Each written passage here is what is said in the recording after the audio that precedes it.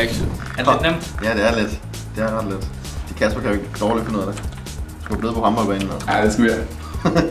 Når jeg ser det her, så skulle jeg da kraftedt med at vide Så må vi prøve med en klap for øjet.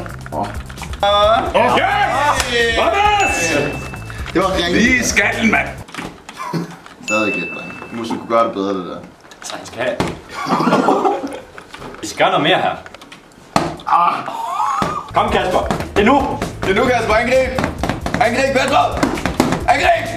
Ah! Helvede, han løber for i kassen. Det fungerer ikke.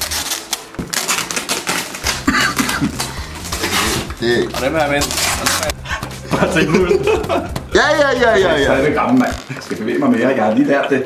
Hvis du ikke kan vinde nu, Kasper, så er det skidt. Det er simpelthen skidt. Han løber lige ud, og, og så klapper jeg mig. Jeg skal jo bevæge mig. Kasper, camp. Du skal camp nu. Ikke vise dig.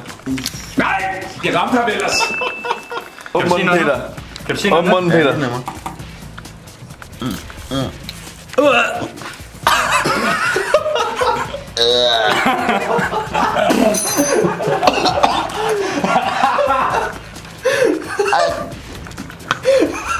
Åh, godt, godt. Åh, Åh, godt, det der kilder på tungen.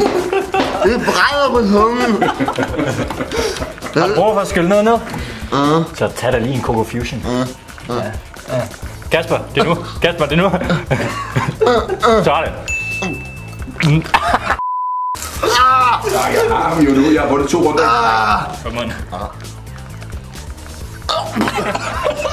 Jeg kan ikke se en skid! Åh, oh, fy for helvede, hvor det smagte røv, det der. Jeg kan trykke, jeg kan trykke, jo! Hvorfor kan du ikke trykke? Er det svært med klonen? Hey, du skal jo bruge klonen. Du skal jo. Du skal trykke og slå på klonen ned på musen.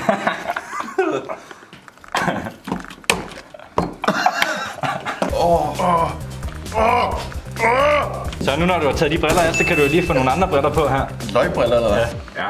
Åh, oh, det går lige af, det stikker lige fucking fred på mig. Spiller du bare. Ja, ja.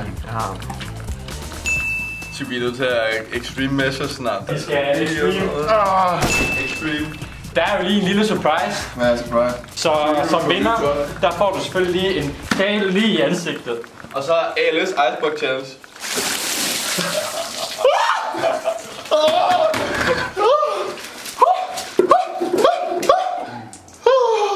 Når man spiller, så siger man ikke? Han krammer. Nej, ellers.